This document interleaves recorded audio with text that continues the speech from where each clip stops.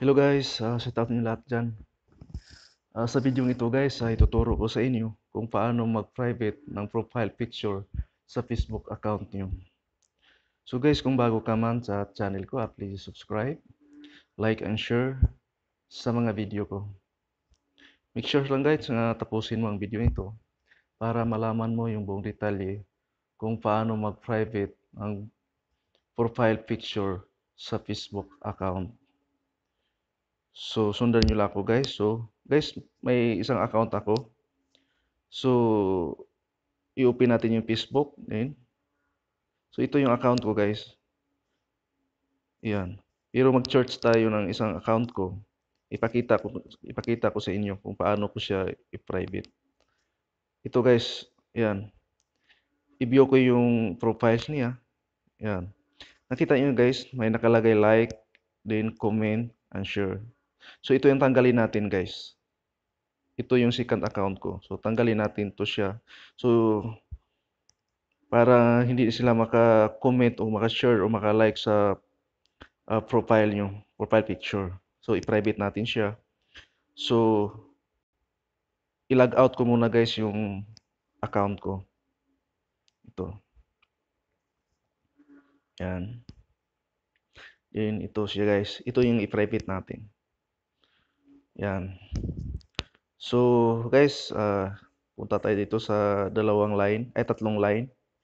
Yan, tapos click natin yung ano natin. Uh, yan, dito na tayo sa Facebook natin. Na uh, i-private natin, guys. So, i-click nyo lang yung profiles, guys. Then, view pro uh, view profile picture. So, i-click nyo, guys. Yan, guys, oh. Nakita nyo guys, may nakalagay na like and comment and share. Gaya yung pinakita natin kanina. So guys, uh, para hindi sila makalike at hindi sila maka-comment, maka-share, i-private natin. So, yung tatlong dot sa taas, i-click nyo lang. Yan. Tapos guys, i-click nyo guys yung edit privacy. Yan. Tapos, yung see more guys, i-click nyo lang. Yan. Tapos ilagay nyo guys sa only me, no? Para, para, ikaw lang makakita. Yan. Then, uh, i-back natin guys.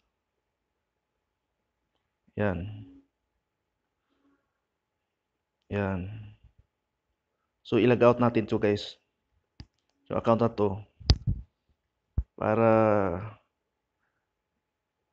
i-search natin dun sa isang main, sa isang account ko kung mag, pwede ba maka-share o maka-comment sa profiles niya. Ito yung kanina, yung account ko guys. Tapos, i-search natin. Ito guys. Ito yung pinarebit natin na ano, si Eliza Cruz.